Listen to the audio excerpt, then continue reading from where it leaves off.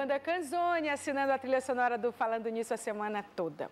Olha, hoje a gente vai ter um show aqui para tudo, larga tudo e fica em casa que a gente vai falar de qualidade de vida ligada à atividade física, ao fisiculturismo em várias categorias, como fisiculturismo, wellness. São atletas que nós temos aqui com total, total potencial competitivo para o Brasil inteiro. São muitas competições nessa área no Brasil. E o fato é que a gente vai falar sobre isso com o presidente da Federação Piauiense de Fisiculturismo, que é o Vicente Neto. Muitas polêmicas, é, muito, muitas verdades e mentiras sobre isso. O fato é que é, essa categoria ela conseguiu alinhar a mente um corpo perfeito e um projeto de vida que está todo pautado em qualidade de vida. Então, é a nossa pauta de hoje. O Vicente já está aqui comigo para uma entrevista. Nós temos vários atletas, inclusive, que ganharam o recente 11º Campeonato Piauiense de Fisiculturismo e Fitness. Daqui a pouco a gente vai mostrar as meninas, os meninos, né, os vencedores é, desse campeonato. Mas antes, inclusive, do meu boa noite ao Vicente, eu queria chamar um VT para vocês entenderem um pouco melhor sobre, afinal de contas, o que vamos tratar na entrevista do nosso sofá de hoje. Vamos ver. Está havendo um verdadeiro boom do mercado de alimentação saudável. As pessoas estão mudando seus hábitos alimentares para conseguir ter saúde e um corpo bonito. Você faz sacrifícios para manter a boa forma? As academias de musculação e modalidades esportivas conquistam cada vez mais alunos em busca de um corpo socialmente admirado.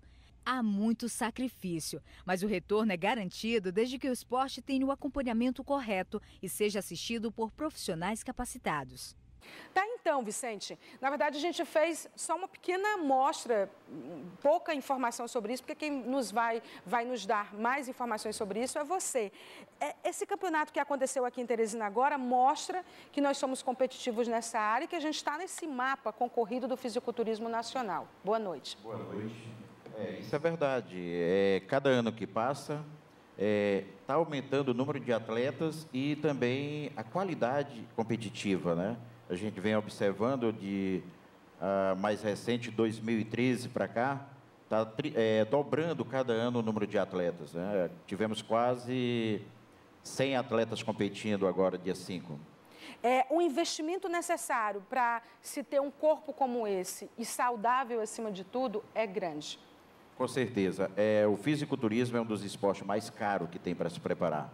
Eu sempre falo que Qualquer outro esporte requer disciplina, alimentação é, e outros, por exemplo, repouso é, e uma mente preparada para isso.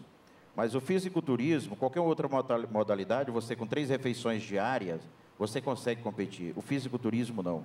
Você tem a hora de se alimentar, são, em média, dependendo da fase do fisiculturismo, tem duas fases. Você tem a fase de volume, que é o ganho de massa muscular, e depois o trabalho de definição muscular, que é o que se aproxima da competição. E todas essas fases, cada atleta desse aí, ele, ele tem que manter pelo menos de seis a sete refeições diárias. Então, assim, e refeições estamos falando de qualidade, não é quantidade, né? É uma alimentação toda balanceada e são atletas que treinam com disciplina, é, terminam se abdicando de cada coisa, de muitas coisas, até vez, ah, às vezes da vida social, para que possa é, é porque é zero de atingir. bebida, zero sono de... também não pode estar tá não perdendo pode muito perder sono. sono, tem que ter muita disciplina. Com certeza, realmente. muita disciplina. A gente está falando de um treinamento por, próximo a competições de quantas horas por dia? Por exemplo, é, boa pergunta. Eu, é, muita gente acha que um fisiculturista passa muito tempo dentro da academia. Pelo contrário, um fisiculturista no período de, de volume muscular ele passa entre 45, no máximo uma hora dentro da academia. No período de pré-contest, que a gente chama de trabalho, que é o trabalho pré-competição, já próximo da competição, digamos 60 dias antes, ele vai levar um, um, tempo a mais, porque ele às vezes precisa fazer o cardio também, o trabalho aeróbico, para ajudar na perca de gordura mas não passa de uma hora e meia. Você pode ter um corpo perfeito de várias formas. Tem corpo perfeito com cirurgia plástica, tem corpo perfeito, como é o caso dos atletas que a gente vai mostrar aqui, que é fruto de atividade física e disciplina. Tem corpo perfeito por uso de anabolizantes, um corpo perfeito na primeira fase, porque depois vira um risco. Tem corpo perfeito de todas as Isso formas. Isso é verdade. O que é proibido nessas Isso competições? é verdade. O que é, eu, avaliado? É avaliado. Por exemplo, eu sou árbitro nacional, né? Inclusive, arbitrei em vários campeonatos brasileiros e fui árbitro também em uma das categorias da Wellness, no Arnold Classic, né, no Rio de Janeiro, que é um evento internacional. E a gente observa muito, por exemplo, os atletas, eles, eles são, digamos assim, na hora do julgamento, nós já temos o conhecimento de ver se o atleta, por uso de, de substâncias proibidas, é, desenvolveu, por exemplo, ginecomastia, ou então tem algum tipo de óleo injetado no corpo, tudo aquilo que é disforme a gente vê dentro é da competição. Na hora. Com certeza, sem sombra de dúvida. Então, assim, aquilo que não é permitido, o atleta é punido. Nesse campeonato, nós vamos mostrar agora é, quem foram os vencedores, esse, esse campeonato que teve, que foi o 11º campeonato piauiense de fisiculturismo e fitness, né, que, é, que, tem várias categorias dentro disso. E o Vicente, que é presidente da federação, vai nos ajudar a entender. Por exemplo, o Pedro Lima é advogado, ele foi o, o vencedor, ele foi o grande vencedor desse campeonato aqui. Ele tem 24 anos e começou a se preparar em novembro de 2014, não foi isso? Isso. É, Mostrar o Pedro, o Pedro ali, gente, olha, esse Pedro, é o Pedro. ele é da categoria Men's Physique. A categoria Men's Physique, ela Nesse campeonato teve até 1,74, até 1,78 e acima de 1,78, porque o mês físico é estatura, não é peso. E ele competiu na categoria acima de 1,78 e conseguiu tá o primeiro lugar. A gente está mostrando as fotos do Pedro, mas a gente também ali, ali, olha, as fotos de, de concorrentes, Isso, né? exatamente. Ali é na hora que os atletas já estão no palco fazendo a sua apresentação. Tem uma árbitra central que está pedindo as poses e aí é onde já começa o julgamento dos atletas. Quantos atletas participaram nessa categoria? Essa categoria eu acho que subiu oito atletas, foram oito ou foi nove atletas. E aí o que, que acontece? O mês physique, você vê que não é uma competição de hipertrofia máxima. Você vê que os atletas não são hipertrofiados como fisiculturista. Ele tem um físico mais, digamos assim, menos volume. É harmonioso, uma, né? Uma definição bem aparente e bem harmonioso, né? Aparência uhum. saudável também. Isso conta muito no mês Physique, né? Vamos voltar aqui para o estúdio para a gente ter uma demonstração do Pedro aqui, porque lá a gente está vendo ele com os concorrentes. Aqui a gente vai mostrar o campeão, o Pedro Lima, que foi quem venceu essa categoria. Ele está, inclusive, com o troféu ali, é muito bonito. Parabéns, viu, Pedro? Muito bonito o troféu. E aí vamos fazer a demonstração enquanto o Vicente mostra para a gente. Pode levantar, Pedro, por favor, como a gente vai fazer com os demais depois. O Vicente estava falando que é estatura e é. e é. uma definição e uma harmonia. Enquanto ele faz a demonstração, você fala para a gente. Isso mesmo. O, o Mês Physique, ele não tem a questão do peso. Ele é exatamente a estatura. O Pedro competiu na categoria até 1,78 e foi o vencedor. Então, essas são as poses que é exigida, né? E ele tem uma apresentação, tem um quarto de volta. Exatamente. É? Todas as categorias mês física, ele se apresenta com uma bermuda até o joelho, né? Onde pode ter mostrar toda a harmonia, toda essa musculatura bem proporcional, né? E nada exagerado, que eu digo é. em termos de hipertrofia muscular, porque seria já uma outra categoria. Você vê o Pedro e quando ele, ele exibe o músculo, quando ele está fazendo a demonstração, ele, ele cresce, né? As costas, né? Tu, o músculo todo aparece. Exato. Muito interessante. E hoje, por exemplo, ele, tá, ele não fez nenhum tipo de aquecimento, né? Quando ele, ele, o atleta, antes de competir, ele usa uma tinta, é, e aparentemente a definição vai ficar mais visível, a musculatura vai ficar mais saliente. E com o aquecimento também fica mais visível toda essa musculatura. Você tem microfone aí, Pedro, na sua poltrona? Vamos, vamos conversar com o Pedro. Você se dedica ao fisiculturismo já há quanto tempo? Na verdade, eu me dedico ao fisiculturismo em si, eu comecei em novembro a me preparar. Em novembro do ano passado para esse campeonato? Foi, eu fiz uma simulação. Fala um é, pouquinho mais próximo, obrigado. Eu fiz uma simulação para ver assim como meu corpo reagia, se eu entrava no padrão da categoria. E foi muito satisfatório o que eu, o que eu vi e eu resolvi ir adiante e eu soube que ia ter o, o campeonato piauiense, ia ter a categoria e resolveu se preparar. Muitos Comecei sacrifícios? Olha, é muita abdicação de muita abstinência. Você é, tem que ter uma dieta bem rigorosa. Você dificilmente sai da dieta, só momentos específicos, estratégicos, até porque o corpo não aguenta você ficar muito tempo é, seguindo aquela alimentação regrada. Então, tem estratégias que a gente usa, às vezes, é, que é chamado refeed, para justamente melhorar o psicológico, é, melhorar o humor da gente e dar também, tirar o corpo de homeostase, né? Eu tenho amor pelo direito, sou apaixonado pelo fisiculturismo. E pretendo, até onde Deus permitir, é, participar. Continuar participando. Nós estamos muito bem representados. Parabéns. Obrigado. A gente vai continuar mostrando agora as meninas. Vamos intercalar, né? Das meninas que estão ali, como elas ficaram classificadas. A gente tem a Edna Linhares. Ali todas, todas a. Edna está ali do lado de biquíni dourado, ela é advogada também.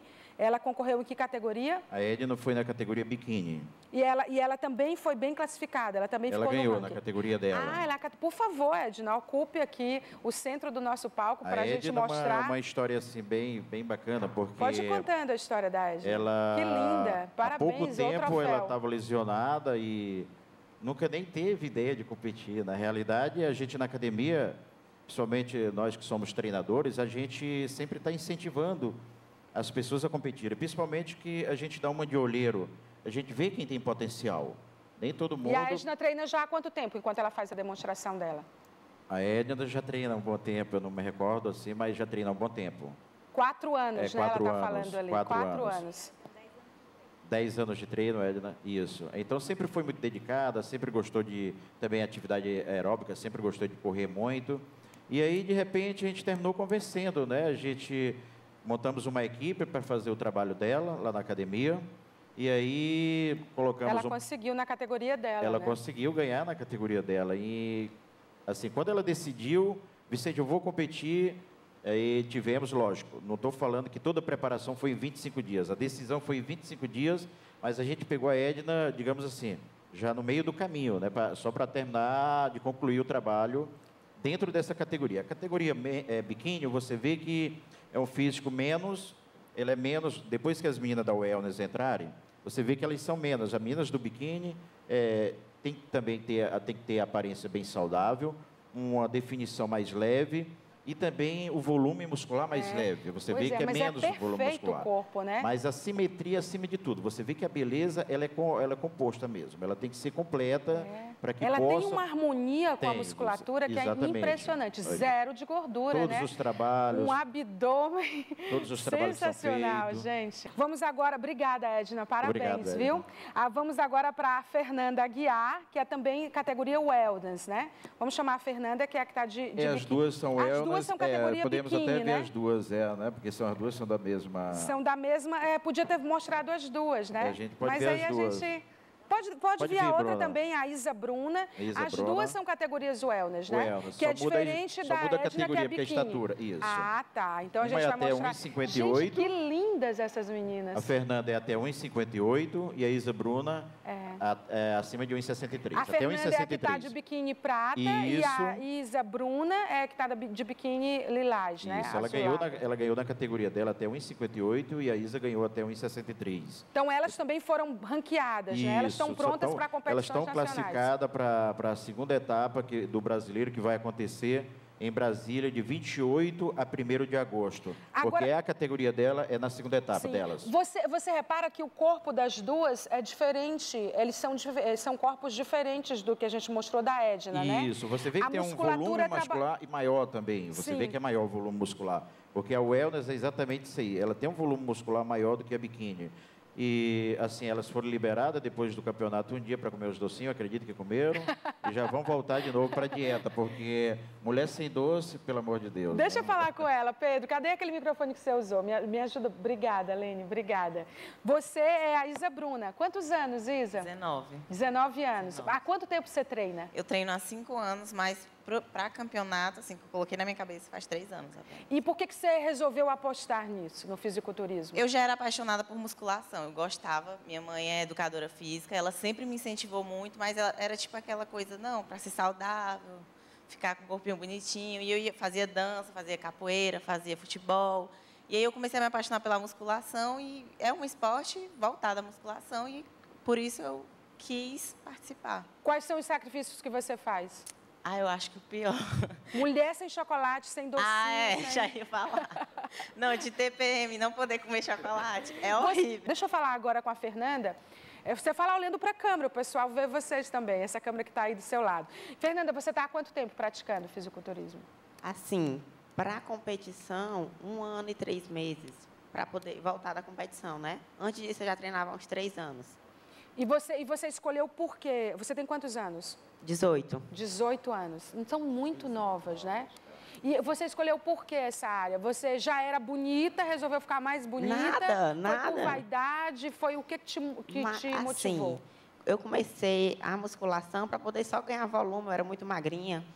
Aí depois eu fui vendo isso, o esporte foi crescendo, eu fui admirando e gostei. E E no estar- caso delas, quando elas eh, fazem esse tipo de trabalho, como é que funciona suplemento alimentar? Elas não tomam nada? O que, como é que acontece? É, a questão do suplemento elas tomam, né? é, como eu falei no início, é elaborada uma dieta por uma profissional de nutrição e ela vê a necessidade de incluir o suplemento para que possa fazer o trabalho mais completo. A gente está falando de o atleta, o Ah. atleta, eu sempre falo, o atleta ele é bem diferente de uma pessoa comum. A idade melhor para se ficar assim, para ter um resultado, elas são bem novas, 18, 19 anos. É, mas não tem idade, por exemplo, uma pessoa que co- começa com 30 anos, ela tem condição de ficar com um corpo perfeito assim Tem ainda? é, 30 anos hoje, ou 30 anos hoje 40 ainda, ainda anos, falo que é uma 50 garota, anos. porque a média de vida hoje está 74 anos, né? Então, assim, as pessoas não Tem têm... gente competindo por mais Por tempo, exemplo, né? hoje no Campeonato Brasileiro, a gente encontra atletas, atletas competindo com 60 anos Muito legal. né, no fisiculturismo. Então, isso é, muito interessante. Obrigada, Atividade meninas. física é tudo. Obrigada. Vamos agora chamar o Henrique Mendes, que é sênior na categoria é, 80 quilos, né? Ele também ficou bem ranqueado nesse campeonato, não é? Isso, Vicente? ele foi ganhador também. Essas competições, elas, elas têm, além de, de- de- de- deles competirem dentro da categoria deles, no final a gente pega o campeão ou a campeã de cada categoria e faz o overall, que é o campeão dos campeões. E ele foi. Ele foi o campeão, ele foi o campeão da noite. Olha, ele competiu com os outros atletas e aí foi o campeão da noite. Ganhou na categoria É o- dele. Sim. E É, foi o grande campeão, o, né? o grande campeão. Que nem a Fernanda também, ela competiu dessa forma, Fernanda. Ela competiu no overall também. Gente, olha a musculatura do, do Henrique. É É, impressionante. o Henrique ele deve estar em torno de 4% ou 5% percentual de gordura dele aí. É, geralmente um atleta ele compete para estar com a qualidade muscular dessa forma aí. É, muita disciplina, muita dedicação, uma dieta sequer sem olhar nem para uma E muito balinha. tempo se dedicando também, Muito né? tempo se Muitos dedicando. anos. Eu imagino que Muitos ele está o quê? O Henrique já treina há muitos anos já. É, já é conhecido, né? O Henrique já treina há mais de 10 anos. Já é muito conhecido, já é um veterano, um bodybuilder. Muito interessante. Parabéns, viu, Henrique? Parabéns a você também. Muito obrigada, Vicente. Obrigada a vocês. Eu que agradeço, muito obrigado estamos à disposição. Obrigada, Vicente. Deixa aí para minha dica de, da, da gente. Olha, essa menina linda que passou correndo aqui, é a Valentina. Valentina, vem aqui, Valentina. Vem aqui. Não, eu tenho que mostrar, Valentina. O que é um pontinho cor-de-rosa de cabelo loirinhos no meio do palco correndo? É a Valentina, filha do Vicente. Que linda, que fofa. Aliás, eu tô, eu tô recebendo não só a Valentina como criança, mas a Isabela. Cadê a Isabela? Cadê? Olha, mostra a Isabela para mim, é, Ayrton. Vem um pouquinho mais para frente. A Isabela é filha da Rejane. Eu conheço a Isabela desde a barriga da mãe dela. Ela é uma menina toda linda. Olha, soltando o cabelo aí para Tia Maia. Vem aqui dar um beijo também aqui, dá, dá um beijo. Já vamos abrir agora para Tia Maia, a Valentina, é a Isabela. Enquanto a Isabela vem, eu vou mostrar na dica da livraria. Vem aqui, fica aqui pertinho de mim. 22 dias, as decisões que mudaram o rumo da Segunda Guerra Mundial. Dica da livraria Anchieta, que está com muitas promoções nessa segunda volta às aulas, né, nesse segundo semestre. Vai lá e aproveita tudo, porque são muitas promoções, cartões, enfim. Bom, eu vou aproveitar que eu estou cheia dessas meninas lindas. É muito linda, né? E aí eu já vou para o intervalo comercial com a Canzoni e daqui a pouco a gente está de volta conversando sobre um documentário super interessante da minha amiga jornalista que já está aqui, que é a Leide Souza. Até já!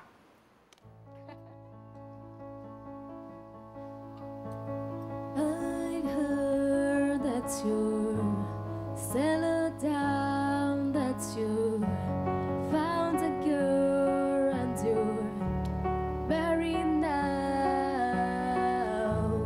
I've heard that your dream.